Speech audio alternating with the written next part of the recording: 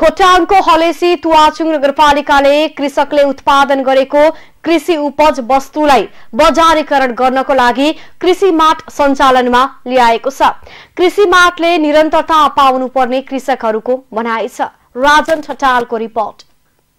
नगरपालिकाले सात महादेव स्थान स्थित ट्राफिक चोकमा अडतिस लाख चालिस हजार आठ सय एकतिस रुपियाँको लागतमा निर्माण गरिएको कृषि माठ तथा चिस्याङ केन्द्र गोठदेखि कोटसम्म बारीदेखि बजारसम्म स्थानीय उत्पादनलाई उपभोग गरौं स्वास्थ्यलाई दीर्घ बनाऊ भन्ने नारासहित सञ्चालनमा ल्याइएको हो। हलेसी तुवासुङ नगरपालिकाले कृषकले उत्पादन गरेका कृषि उपज वस्तुहरूलाई बजारीकरण गर्नका लागि कृषि मार्ट सञ्चालनमा ल्याएको छ। सहज नेपाल संस्थाको प्राविधिक सहयोगमा नगरपालिकाले निर्माण गरेको चिस्यान केन्द्र नगरपालिकाले मासिक दस हजारमा निजी कम्पनीलाई भाडामा दिएर सञ्चालनमा ल्याएको हो। कृषकले उत्पादन गरेको कृषि उपज वस्तुहरू बिक्री नहुने उचित मूल्य नपाउने बिक्री गर्न घरहरू तथा होटलमा डोकोमा बोकेर डुलाउँदै बिक्री गर्नुपर्ने बाध्यता विगतमा रहेकाले त्यो समस्याको अन्त्य गर्नका लागि कृषि माठ तथा चिस्यान केन्द्र सञ्चालनमा ल्याइएको नगर प्रमुख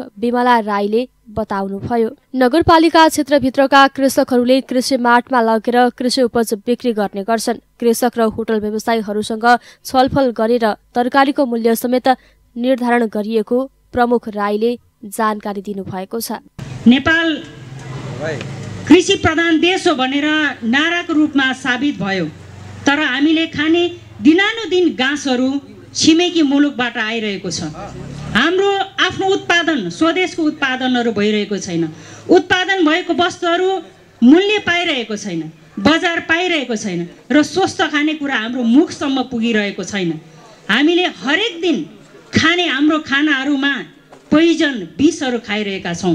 होला थोरै मात्रामा खान्छौँ होला ठुलो मात्रामा खान्छौँ होला। फरक यति हो।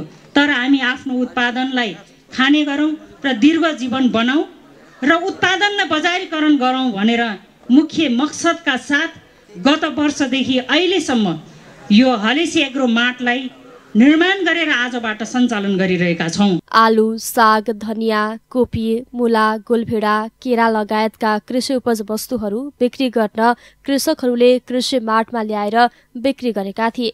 आफूले उत्पादन गरेर ल्याएको कृषि उपज वस्तुहरू उचित मूल्यमा बिक्री गरेर खुसी हुँदै कृषकहरू घर फर्किएका छन्। अरू बेला सबै घर होटलहरूमा डोकोमा बोकेर डुलाउँदै कराउँदै बेच्नु पर्थ्यो तर अहिले सहजै रूपमा बिक्री हुँदा धेरै खुसी लागेको कृषकहरू बताउँछन्।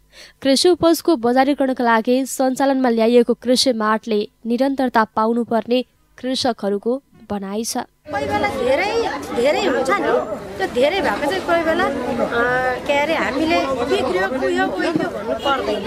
ल्याएर यहाँ दियो अनि गयो उहाँहरूले।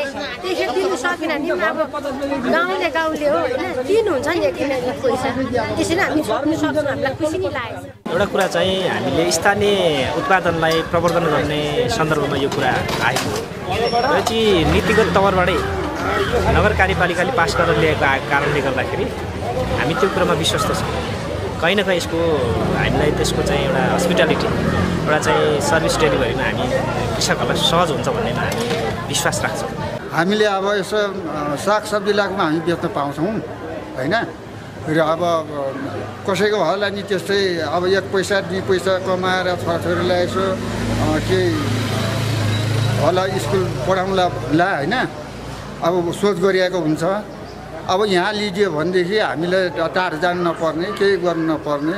अब हामीले यसो उत्पादन गर्नु पऱ्यो एउटा अति राम्रो हामी खुसी छ। यसमा सबै हामी सबै खुसीमै छौँ होइन? एउटा कुरो। नगरले कति सहज भयो? एउटा कुरो। यो हामी सब यसमा सबै हामी सहभागी। हामीलाई लाग्छ। गरे गऱ्यो कसले गर्यो नगरले गर्यो होइन। एउटा गरेर हुनु पऱ्यो नि सर। होइन जसले गऱ्यो उस उहाँ किन हामीले जसले पनि तपाईँ हामी जसले गऱ्यो भने छ त्यसमा अति खुसी छ। हरेक दिन सयौंको संख्यामा त्रिधार्मिक स्थल हलेसीमा पर्यटकहरू आउने गरेका छन्। जसका कारण पनि हलेसी क्षेत्रका होटलहरू प्राय सधैँ चलायमान हुन्छन्। तर व्यवस्थापन हुन नसक्दा स्थानीय स्तरमा उत्पादन भएका कृषि उपज कुहिएर जाने र बाहिरबाट तरकारीहरू भित्रने गरेको पाइन्छ। नगरपालिकाले कृषि मार्ट सञ्चालनमा ल्याएसँगै कृषकहरूले उत्पादन गरेका सबै कृषि उपज बिक्री हुने विश्वास लिएको छ। नगर प्रमुख राई उपप्रमुख रमेश कुमार राउत प्रमुख प्रशासकीय अधिकृत कैलाश बहादुर ठकुराठी वडा अध्यक्ष विभिन्न राजनीतिक दलका प्रमुख तथा प्रतिनिधि लगायतको उपस्थितिमा औपचारिक उद्घाटन गरिएको हलेसी कृषि मार्टमा कृषकहरूले कृषि उपज बिक्री गर्न सुरु गरेका छन्।